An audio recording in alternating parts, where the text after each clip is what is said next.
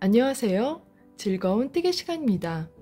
오늘은 지난 시간에 이어 계속해서 그레니스케어 티매트 뜨는 방법을 배워보도록 하겠습니다. 아직 1번 영상을 보지 않으신 분들은 1번 영상을 보시면서 그레니스케어 한 개를 완성해 오시고요. 계속해서 이 영상을 시청하시면 됩니다. 이번 그레니스케어 연결 방법은 아주 간단합니다. 네, 보시는 것처럼 이렇게 먼저 모티브 한 개를 뜨신 후에 두 번째 모티브부터는 마지막 3단을 떠가면서 첫 번째 모티브와 연결을 하도록 하겠는데요. 연결의 포인트 지점은 다음과 같습니다. 코너 부분, 사슬 5코 공간, 사슬 5코 공간, 그리고 코너 부분 이렇게 4개의 포인트에서 연결을 해줄 거예요. 그럼 저희는 첫 번째 모티브는 끝까지 완성하고 두 번째 모티브부터는 마지막 면을 완성하기 전에 대기하셨다가 연결해 가면서 완성하시면 됩니다. 네, 모티브 연결 방법을 보여드리기 위해서 코너를 두 개만 완성하고 세 번째 코너에서부터 연결해 가면서 진행하도록 하겠습니다. 세 번째 코너에서는 한길 긴뜨기 5개 세트만 뜬 후에 여기 보이는 첫 번째 모티브와 연결을 하도록 하겠어요. 네, 모티브를 이렇게 한길 긴뜨기 5코만 뜬 후에 연결을 하겠는데요. 다음과 같습니다. 저희가 이제 한길 긴뜨기 5코 뜬 후에는 사슬 5코를 떠 주어야 하는데 사슬 5코 대신에 먼저 2코만 떠주세요. 그리고 세 번째 코를 뜨기 위해서 첫 번째 모티브를 네, 잡아주시고 어느 지점에서 연결을 해도 상관없습니다. 요거는 첫 번째 모티브이기 때문에 어디에서 연결해도 상관없는데 연결할 지점 네, 모서리에 코바늘을 넣어주세요. 이렇게 코바늘을 푹 찔러 넣어주시고 좀 전에 대기 중으로 기다리고 있는 이 코를 끌어서 사슬 고리 위로 빼주세요. 이렇게 네, 이렇게 끌어올려 주신 상태로 사슬 한 코를 떠주시면 연결이 되었습니다. 네, 다른 컬러로 보여드리고 있기 때문에 아주 잘 보이죠? 이렇게 세 번째 사슬로 연결을 한 후에 도안대로 진행하기 위해서 사슬 두 코를 더 떠주겠습니다. 네, 이렇게 사슬 두 코 떠주시고 실 감아서 도안대로 나머지 한길긴뜨기 다섯 코를 떠주세요. 기호 도안 참조하시면서 떠주시면 됩니다. 한길긴뜨기 다섯 코를 뜬 후에 배운 대로 다음 사슬 공간에 짧은뜨기 한 코. 네, 이렇게 짧은뜨기 떠주신 후에 다음 연결 지점은 저희가 사슬 다섯 코 공간 여기서 연결해 준다고 했죠. 여기, 여기, 그리고 여기 이렇게 세 군데가 남았는데 여기에서 연결해 주기 위해서 먼저 이렇게 짧은뜨기 뜨신 후에 사슬 두 코 떠주세요. 사슬 두 코 떠주시고 또다시 여기 사슬 공간 연결 지점으로 코바늘 푹 위에서 아래로 넣어주시고 대기 중인 코를 끌어와 주세요. 네, 이렇게 끌어올려 주시면 코가 올라오죠? 이 상태로 세 번째 사슬 떠주시면 연결이 되었습니다. 좀 전에 연결한 것과 똑같은 방법이에요. 사슬 두 개 그냥 뜨고 그 다음 세 번째 사슬을 여기로 걸쳐가지고 이렇게 떠주시고 패턴대로 사슬 두 코 더 떠주시면 총 다섯 코 되었죠? 이렇게 연결해서 네, 사슬 다섯 코 모두 떴습니다. 이제 패턴대로 다음 공간에 짧은뜨기 한 코. 다음 연결하기 위해서 역시 사슬 두 코 떠주시고요. 이렇게 다음 연결 지점에 코바늘 위에서 아래로 네, 이렇게 푹 찔러주시고 대기 중인 코를 끌어오세요. 이렇게 끌어오신 후에 사슬 한 코 뜨시면 연결이 되었고요. 패턴대로 두 코 더 떠주세요. 그리고 다음 공간에 짧은뜨기 한 코. 네, 이렇게 떴으면 연결 이렇게 된 거 보입니다. 이제 계속해서 마지막 연결 지점을 위해서 진행하도록 하겠습니다. 실 감아서 다음 공간에는 한길 긴뜨기를 다섯 코 떠주세요. 둘, 셋, 넷, 다섯. 이어서 사슬 두코 떠주시고 마지막 연결 지점인 여기 보이죠? 네. 여기 코너에 코바늘 푹 찔러 넣고 대기 중인 코를 끌어올려 주시고 네. 이렇게 당겨서 바짝 당겨주시고 이 상태로 사슬 한 코 떠주시면 연결되었습니다. 패턴대로 진행할게요. 사슬 두 코 떠주시고 같은 공간에 한길긴뜨기 다섯 코 떠주세요.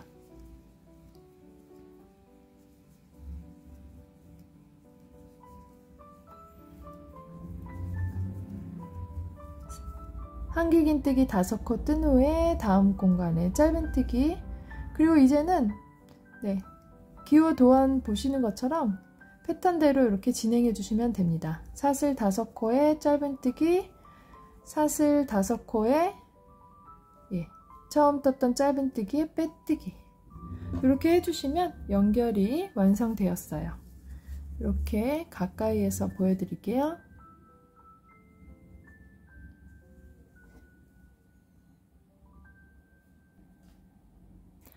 네, 이렇게 보시는 것처럼 4개의 포인트에서 우리가 연결을 마무리했습니다. 마지막 세 번째 단을 떠 가면서 코너에서 한 번, 사슬 공간에서 두 번째, 그 다음 사슬 공간에서 세 번째, 그 다음 사슬 공간에서 네 번째 이렇게 모두 연결을 했는데요. 이제 동일한 방법으로 계속해서 모티브들을 연결해 가시면 네, 원하시는 어떤 작품에도 응용하셔서 뜨실 수 있습니다. 좀 더 진행된 작품의 연결 방법을 보여드리도록 하겠습니다. 모티브를 이제 두 개를 연결하시거나 이렇게 네 개를 연결하신 후에 이렇게 또다시 이쪽 면에 연결하는 방법을 보여드릴게요. 역시 한길긴뜨기 5개와 사슬 2코까지 진행해 준 후에 네, 연결하는 방법 보여드릴게요. 여기 연결 지점에 코바늘 넣고 대기 중인 코를 끌어오세요. 그리고 사슬 3코 나머지 한길 긴뜨기 5코 떠주고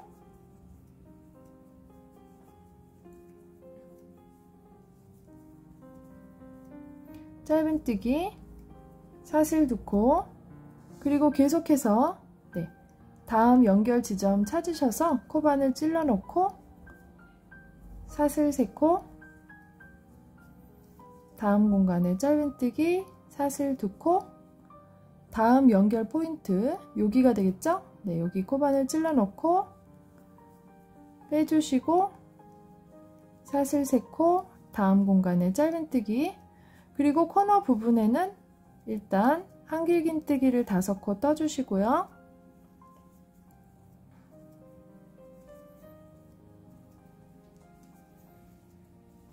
사슬 두 코, 그리고 이렇게 이미 연결이 되어 있는 부분 연결할 때는 어, 떤 위치에 찔러 넣으셔도 상관없습니다. 저는 이렇게 예, 양쪽에 한 가닥씩 걸칠 거거든요. 이렇게 실 한 가닥씩 걸쳐서 중간 지점에 코바늘 찔러 넣고 대기 중인 코를 끌어오세요. 이렇게.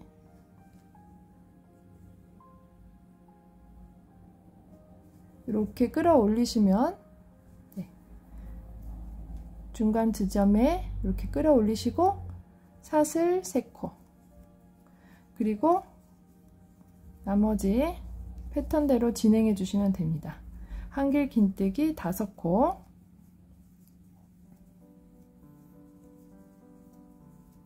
짧은뜨기 사슬 5코 짧은뜨기 사슬 5코 빼뜨기 네 이렇게 연결이 완성되었습니다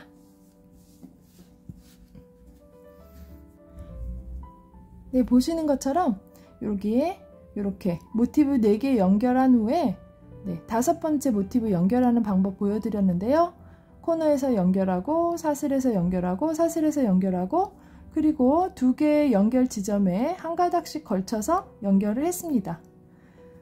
여기 여섯 번째 모티브도 똑같은 방법으로 하시면 돼요.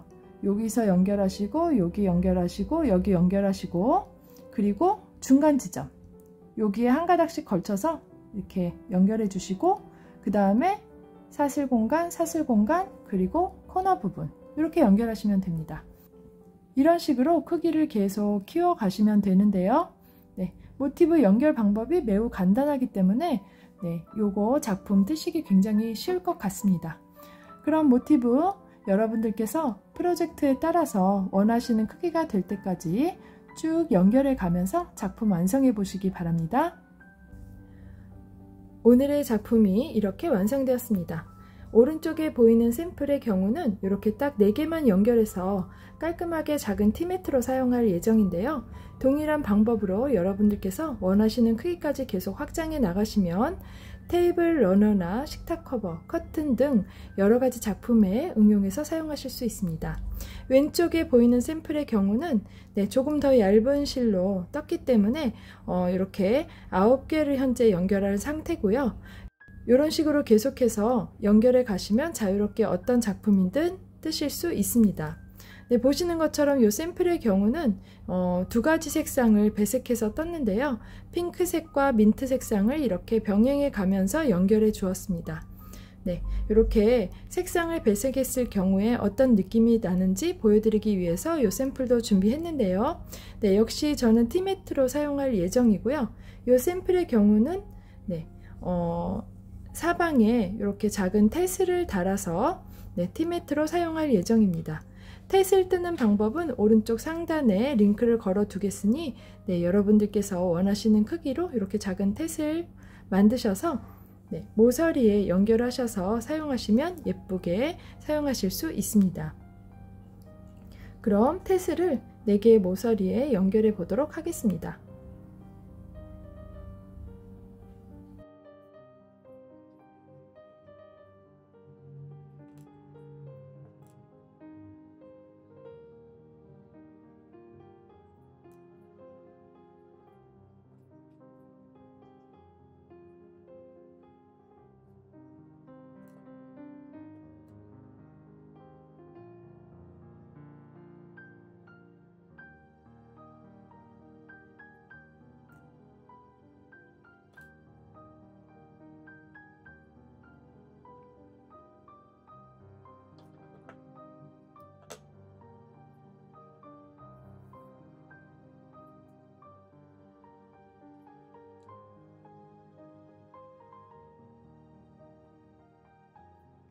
간단하게 돗바늘을 이용해서 4개의 모서리에 연결해 주시면 됩니다.